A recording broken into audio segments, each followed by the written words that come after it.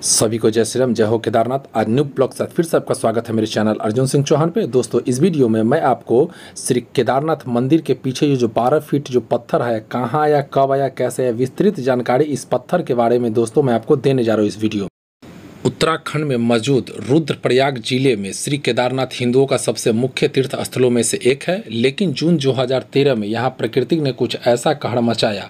इतनी खतरनाक बाढ़ यहाँ आई थी कि हज़ारों लोगों ने अपनी जान गंवाई। लगातार हुई बारिश और ग्लेशियर के पिघलने से आई बाढ़ ने हज़ारों घरों को बर्बाद कर दिया। लेकिन इतना होने के बावजूद चमत्कार कहिया को उस दिन केदारनाथ का ये मंदिर उस विनाशकारी बाढ़ से बच गया। लेकिन कैसे? क्या सिर्फ़ एक पत्थर एक मंदिर को विनाशकारी बाढ़ से बचा सकता है। ऐसे कई सारे सवालों का जवाब जाने के लिए इस वीडियो को अंत तक बिना स्किप किए हुए ज़रूर देखें। दोस्तों, ये जो सामने जो पत्थर देख रहे इसी पत्थर के बारे में मैं आपको बताने जा रहा हूँ। 2013 में आई उस प्रलकारी पाठ में कुछ ऐसा हुआ कि इस मंदिर के पास एक ऐसा पत्थर आ पहुँचा, जिसने इस मंदिर को बचाने में मुख्य भूमिका निभाई। हुआ यूँ कि जब बाढ़ का पानी मलबे के साथ इस क्षेत्र में आया तो उस पानी में कुछ एक बहुत बड़ा पत्थर यहाँ आया। और इस मंदिर के पास आकर रुक गया, जिससे इस मंदिर की दीवार पर तेज़ी से टकराने वाले पानी का दबाव कम हुआ और मंदिर के दोनों तरफ़ से पानी निकल गया।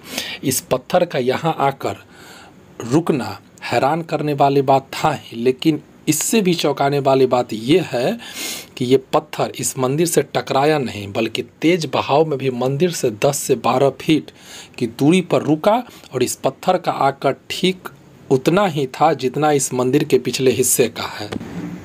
मतलब अगर मंदिर की रचना दक्षिण दिशा में न होकर अगर किसी और दिशा की तरफ़ होती तो शायद इस मंदिर का बच पाना मुमकिन नहीं था। और 2013 में आई, आपदा में ये मंदिर बर्बाद हो गया होता। इस मंदिर के मजबूती के पीछे एक और बड़ा कारण है। इसके निर्माण में इस्तेमाल किया गया पत्थर। कहा जाता है कि पत्थर कहीं और से इस जगह पर लाया गया था, क्योंकि इस मंदिर के आसपास, इस इलाके में ऐसे पत्थर मौजूद ही नहीं है। ये पत्थर खास इसलिए है क्योंकि तापमान में होने वाले बदलाव का इन पर कोई असर नहीं होता। ये मंदिर लगभग 400 सालों तक बर्फ़ के नीचे ढका हुआ था, जिसके दौरान ये पत्थर सुरक्षित रह रहा है। दोस्तों, ये सामने नंदी बैल देख रहे हैं जो केदारनाथ मंदिर के जस्ट सामने है।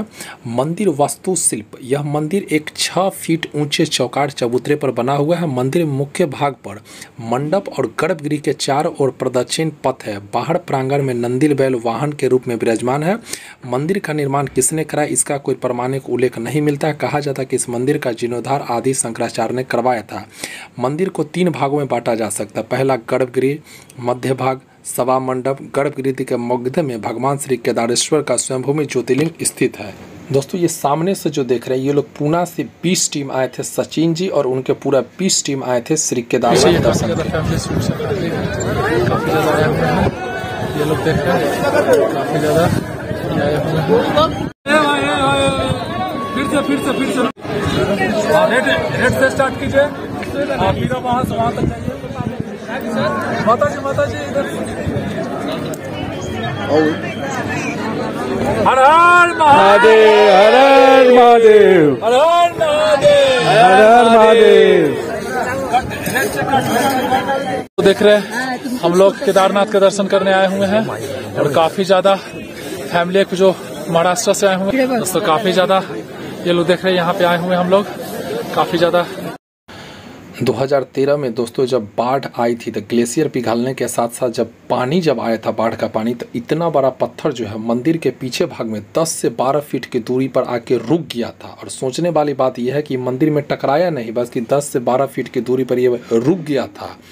और जो पिछला हिस्सा जितना बड़ा है, उतना बड़ा ये पत्थर है, और इसी के बगल से पानी बाढ़ का निकल गया, और दोस्तों ये मंदिर बच गया था। यही पत्थर तब से पूजा किया जाता है 2013 में, जून में दोस्तों विनाशकारी बाढ़ आई थी। और एक बचने का दूसरा कारण भी है दोस्तों, क्योंकि इसका जो दक्षिण दिशा में दुनिया का और भारत का जितना भी मंदिर है, सबका दोस्तों, जो मुख जो रहता है, पूर्व या पश्चिम की तरफ़ रहता है, लेकिन केदारनाथ, श्री केदारनाथ का जो मंदिर का मुख जो है दक्षिण की तरफ़ है, और यहाँ का मौसम काफ़ी ज़्यादा ठंडा और बारिश रहता है। जब भी यहाँ आए, दोस्तों तो ठंडा कपड़ा रेन कोट का सब कुछ लेकर आए।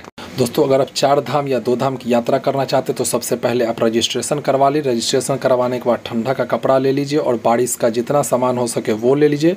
दोस्तों, चढ़ाई या ट्रैकिंग या पैदल यात्रा सोन प्रयाग से ही होता है। सोन प्रयाग से श्री केदारनाथ की दूरी दोस्तों 22 किलोमीटर है। सोन प्रयाग से माँ गौरी कुंड की दूरी जो है पाँच किलोमीटर है। इसके लिए आपको गाड़ी शटल सरकार द्वारा दिया जाता है, लेकिन उसके लिए दो से तीन घंटा आपको लाइन में लगने का है। गौरी कुंड से श्री केदारनाथ की दूरी जो है दोस्तों, सत्रह किलोमीटर है। टोटल बाईस किलोमीटर की चढ़ाई करना है। वीडियो कैसा लगे? लाइक शेयर कमेंट ज़रूर करें। जय श्री केदारनाथ। मैं दोस्तों, जून का महीने का लास्ट में गया था।